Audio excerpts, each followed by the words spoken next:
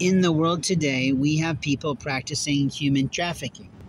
The difference between human trafficking and business development is significant.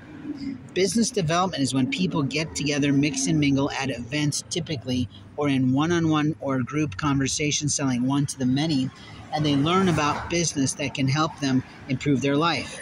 Human trafficking, on the other hand, is a game that blacks, whites, and others are beginning to play where they're actually playing a pin game.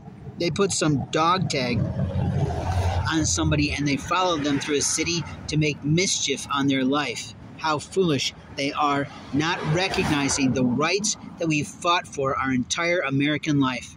To get rid of white endangered servants, to get rid of black slavery, to get rid of Indian poverty, and nobody seems to get this anymore. So many people are self indulgent and really enabling themselves to think that they have rights over anybody. The liars of a community are always harming our community. The stealers of a community are always ruining our community. And it doesn't take much to say it, but if I'm the only person squawking about it, so what? The people listening to my channel might be a force of one, but you never know how high they fly.